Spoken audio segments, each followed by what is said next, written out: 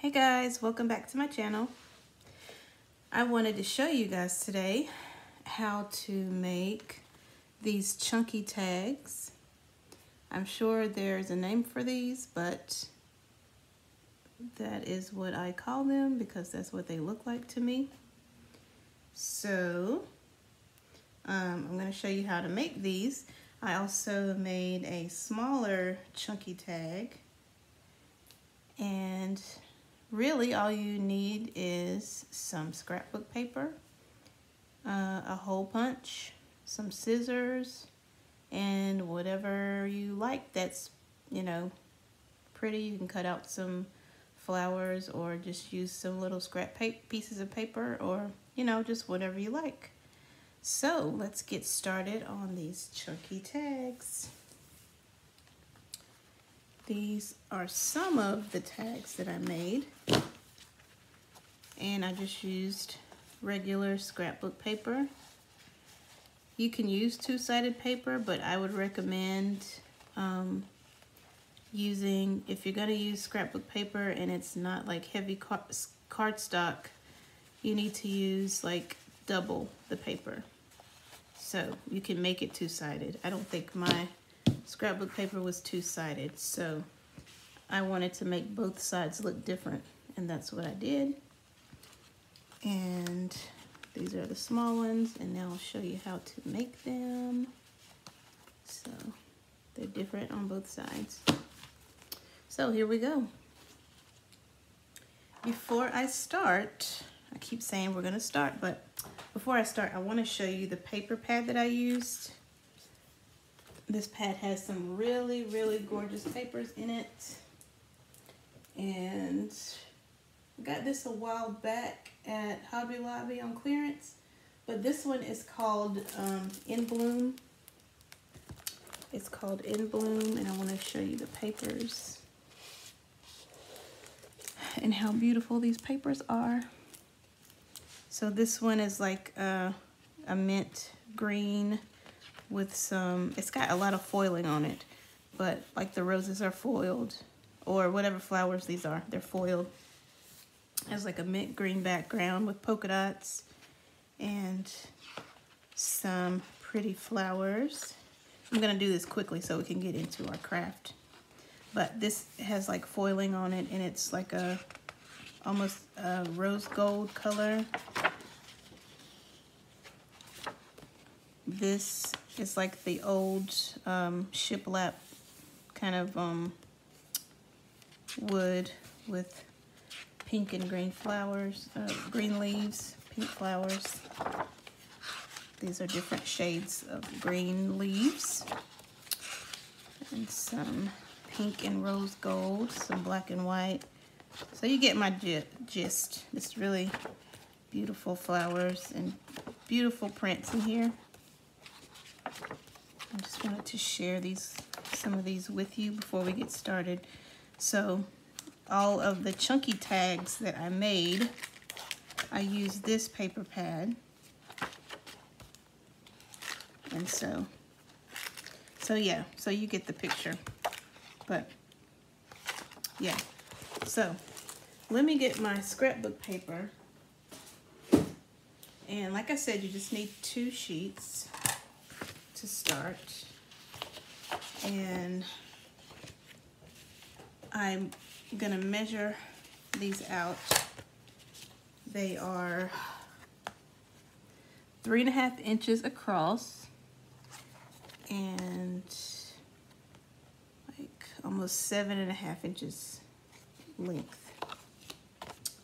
And so I have two pieces of scrapbook paper. This is what I've chosen to do, with, uh, chosen for this tag. And I'm going to try, oh, sorry. I'm gonna try using my um, paper cutter. And I don't know how this is going to work. It's got glue and everything else on it. And I have already drawn lines three and a half inches across just so that we have the correct measurement.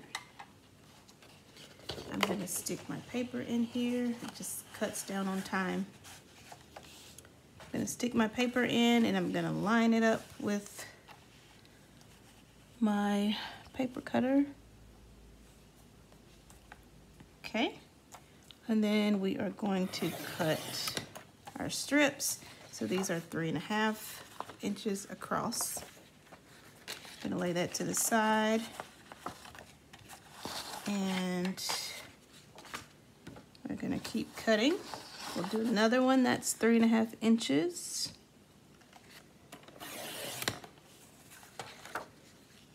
I tell you, this thing sure beats using scissors sometimes. If only we can get these to fussy cut flowers, that would be nice, right? So this one's three and a half across by 12 up and down length. So we have these, I'm gonna sit these to the side. And then I had like a piece of scrap paper that I have already used before, but I can still use it. And I think my lines are crooked, but that's okay. We know approximately how how wide three and a half inches is.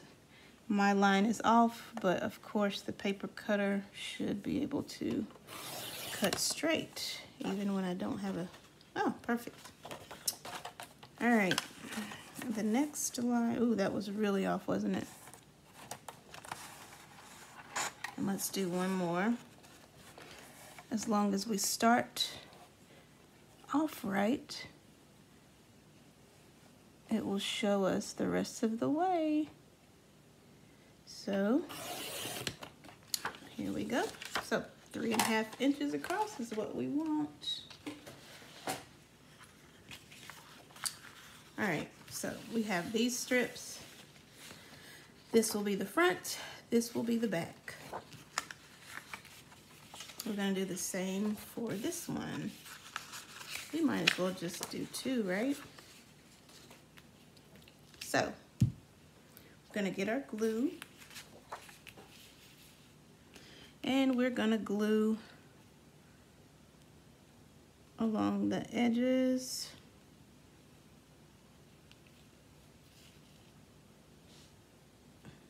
And we're gonna glue down the center.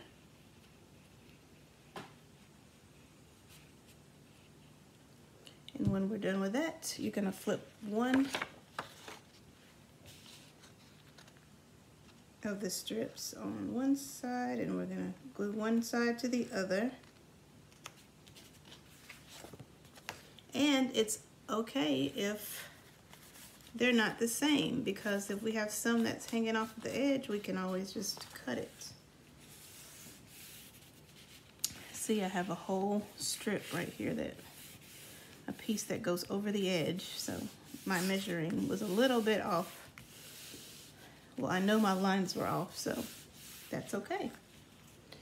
All we have to do is get our trusty scissors and just cut that edge off.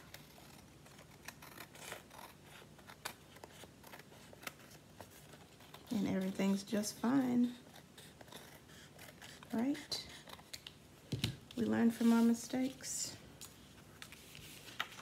All right, so we have two sides. We're gonna sit that to the side and we're gonna go ahead and glue the next one.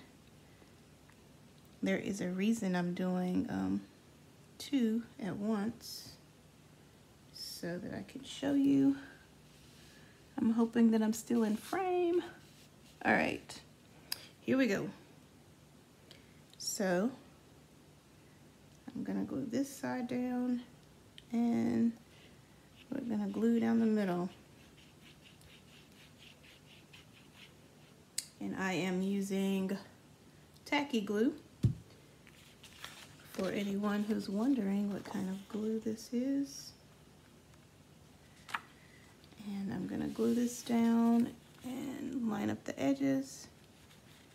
So I wasn't off too bad on this one. All right. I'm gonna take my ruler, kind of smooth it down. So I was only off by a tiny little bit, which is fine. That's what scissors are for. So we're gonna cut that tiny strip of paper off the side and a little off the bottom. Perfect. Now that's done. Now you can let this dry, but we don't have time to let it dry right now, so we're gonna keep going. Um, now, I told you that these are seven, did I say seven and a half? I think seven and a half. Hmm. Yeah, like seven and a half. Ooh. Almost seven and a half by three and a half. So you can just measure down seven and a half. Use your ruler and measure down seven and a half and make a little line. Just because I have one available already, I'm just gonna measure seven and a half. And then the same for this one.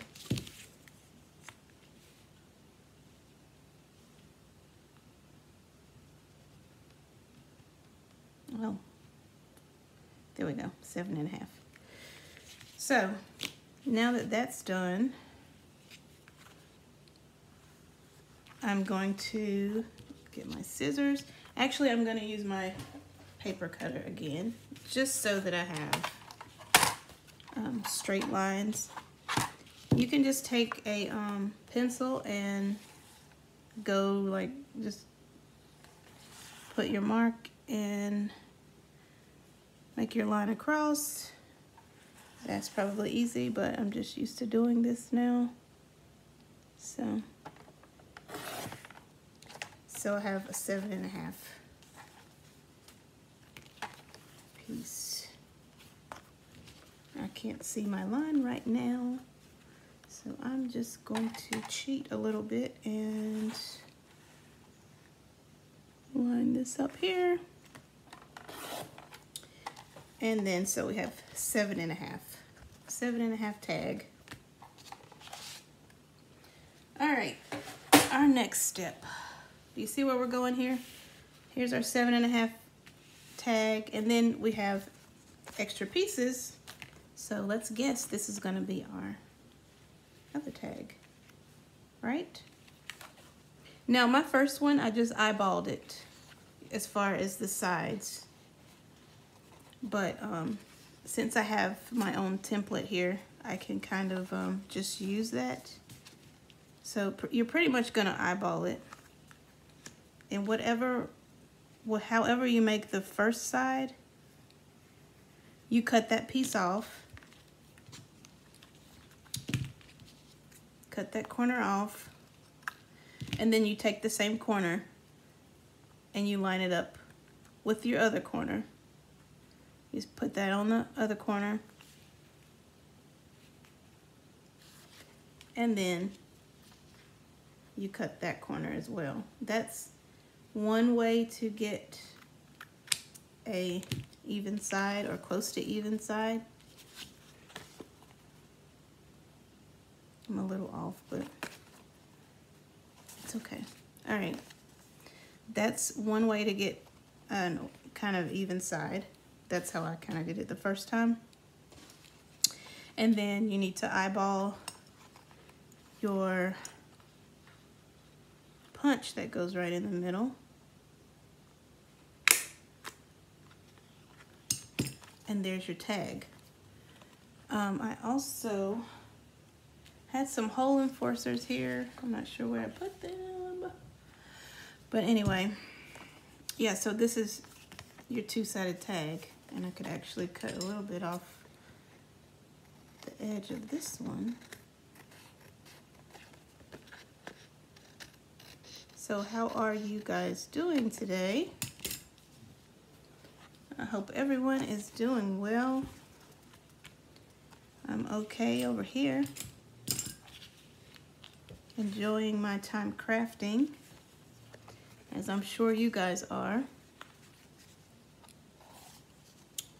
All right, for this one, pretty much the same thing. You just, after your first tag, you can just use your, your, um, you can use that tag for a template. And this stuff is pretty much eyeballed. And so you have your mini chunky tag that looks like that. And so that's the first step in making chunky tags. And what I'm gonna do next, on my next video, we are going to decorate and embellish these. So I'm gonna sit out some more examples of ones that I made earlier so that you can see them. But yeah, these are a lot of fun to make and they're easy to make. And I would suggest when you make uh, a couple, always keep a template of your tags. And that way you don't have to remember what were the measurements for that tag when you get ready to make another one. So always keep your measurements. Just keep a template so that you always have the measurements. And that's a way to use up a lot of your scrapbook paper as well. If you're trying to, if you have a lot of scrapbook paper and you're like, what am I gonna use this paper for? This is a really good way to stock up on your, you know, your pieces that you use for your journal. You wanna make a lot of different pieces so that you always have um, things to pull from. So if you want to, um, if you want to make your stash larger, this is a good way to do it. But I hope you guys enjoyed this video. And if you like this video, give me a thumbs up. Um, um, I would like for you to comment, you know, just say hello or tell me something that you liked or something that you'd be interested in. I'd love to hear from you. If you are new here, Thank you so much for watching and I would love for you to, to subscribe to this channel. If you are a subscriber already, thank you, thank you, thank you, thank you for watching and thank you for always um, being so kind. And um, yeah, so I hope you guys enjoy this video and I hope you guys watch the next one when I um, embellish these chunky tags. Thank you so much for watching and we will talk soon. Have a great day. Bye.